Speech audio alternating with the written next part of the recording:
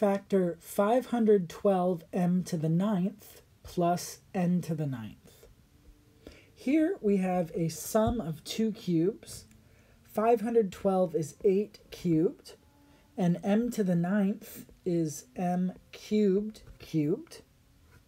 And then n to the ninth is n cubed cubed. So we can use the formula for the sum of two cubes to factor this. We have f plus l, which is going to be 8m cubed plus n cubed times f squared, which is 64m to the sixth, minus fl. If we multiply 8m cubed times n cubed, we're going to get 8m cubed n cubed.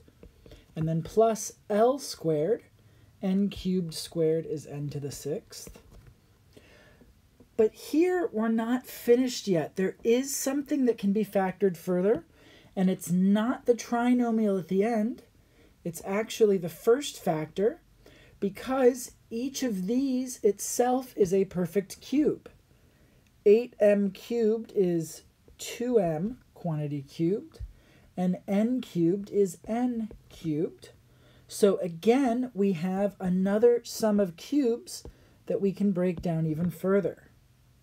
When we break down this sum of cubes, we have 2m plus n times the first one squared gives us 4m squared minus the product is going to be 2mn plus the last one squared is n squared.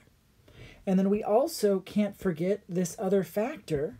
So we also have a factor of 64m to the sixth minus 8m cubed n cubed plus n to the sixth.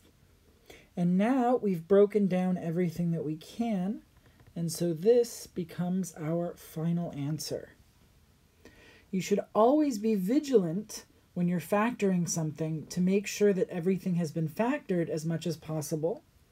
I've mentioned before that usually the trinomial is not factorable any further if we're using the formula for a sum or difference of cubes. But in these situations, it is possible that that first term can be factored further, like this situation. And so we have to make sure that we've done all of the factoring that we can possibly do.